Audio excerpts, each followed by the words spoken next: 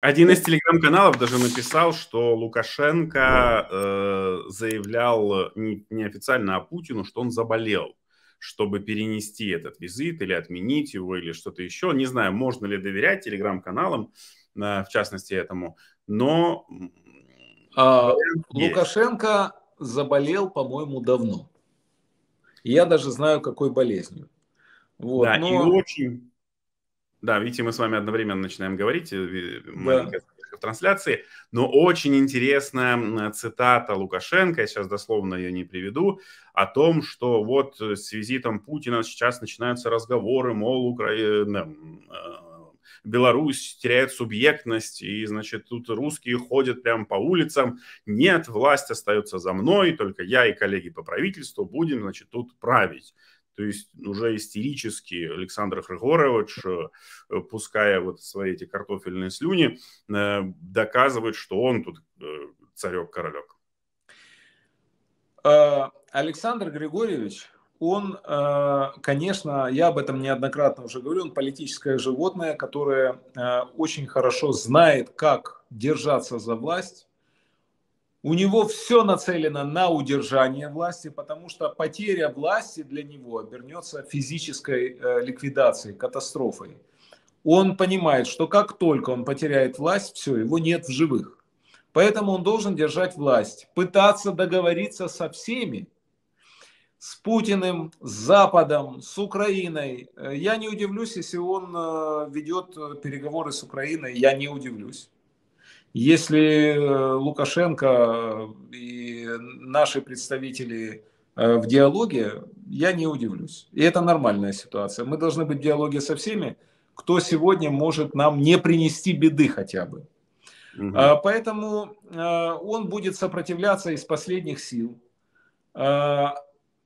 Он понимает, что белорусская армия не мотивирована воевать против Украины, плюс напугана явно, потому что Э, не скрыть потерь русских, не скрыть и того, что у нас есть оружие, чудо-оружие, и того, что мы воюем как звери, этого не скрыть. И белорусы, конечно, вояки белорусские, если можно их назвать вояками, они боятся. И чего? Они попрут в Украину, с какого, извините, перепуга? А, это же не российские сумасшедшие эти. Поэтому э, плюс и в белорусском обществе нет такой ненависти к Украине, как в российском. Белорусы уважают, любят Украину. Лукашенко это все понимает.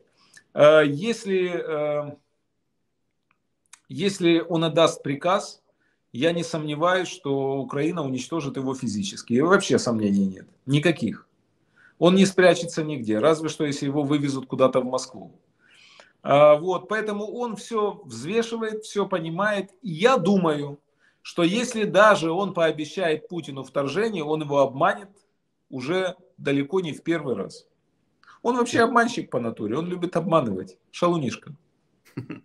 Так, нашим зрителям напомним, пожалуйста, что нужно подписаться на 4 YouTube-канала. YouTube-канал Дмитрий Гордон, в гостях у Гордона, Олеся Бацман и YouTube-канал Голованов. Пожалуйста, в описании вы найдете ссылки, подпишитесь, колокольчик, все атрибуты YouTube. Э, пожалуйста. Колокольчик. Колокольчик, динь-динь-динь. Э, так, э, у вас вышло свежее интервью с э, Алексеем Арестовичем. Прогулялись вы по Байковому кладбищу. Там уже миллионные просмотры. Кто-то хейтит, кому-то нравится. Самое интересное в трех предлож... в одном предложении из этого интервью. Самое интересное это комментарии, которые российские боты пишут. Они пишут, присматривают себе место.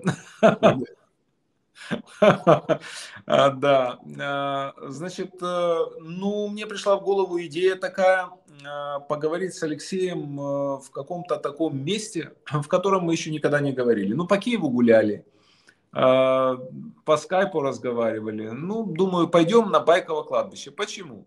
Потому что две причины. Потому что это знаковое кладбище для Украины, там похоронены лучшие люди Украины – за последние несколько столетий. Оно открыто в 1834 году, а, а там похоронены ну, вся гордость Украины от, э, не знаю, Леси Украинки до Левка Лукьяненко. А, это первая причина. А вторая, 6 а, декабря мы гуляли по кладбищу с Алексеем. А, этот день особенный для Украины. В этот день 1991 году, 31 год назад, Леонид Кравчук поставил подпись, и Витольд Фокин, премьер-министр Украины, поставили подпись под Беловежским соглашением, mm-hmm. которое знаменовало развал империи зла Советского Союза и э, фактически сделало Украину независимым государством. Э, поэтому мы подошли к могиле Леонида Макаровича Кравчука тоже, который скончался, к сожалению, в этом году. Поклонились его памяти и просто провели очень интересный разговор с Алексеем. Это интервью было несколько дней первым в трендах Ютуба в семи странах. А, оно набрало суммарно только в Ютубе на двух моих каналах 2 миллиона 200 тысяч просмотров. А, на сегодняшний день оно набирает каждый день, плюс э, миллионы-миллионы просмотров в ТикТок, в ТикТоке, в Инстаграме, на сайте Гордон, э, в Телеграме и так далее. Угу. Рекомендуете к просмотру зрителям.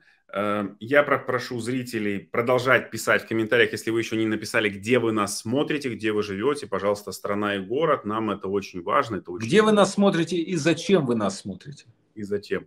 Да, и, конечно же, хотел вас... Вообще, я хочу сказать, что не тратьте лишнее время, не смотрите нас. Шутка. Так, коротко тогда, вот если зайти в тренды YouTube, там можно увидеть там Арестович с Фейгиным, Арестович с Гордоном, Арестович с Фейгиным, э, Арестович что-то еще. Э, в чем успех Арестовича, если вот так э, лаконично? Успех Арестовича в Арестовиче.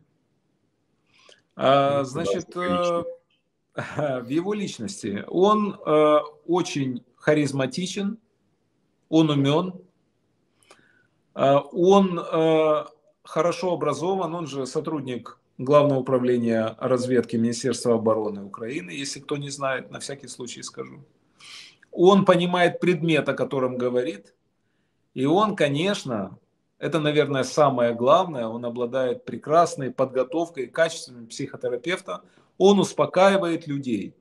В самое тяжелое время я хочу сказать, что э, многие этого не забудут в самое тяжелое для Украины время, когда у многих была паника, растерянность, тревога, спокойный, размеренный голос Алексея Арестовича возвращал людей в состояние реальности, успокаивал их, ну, вселял надежду.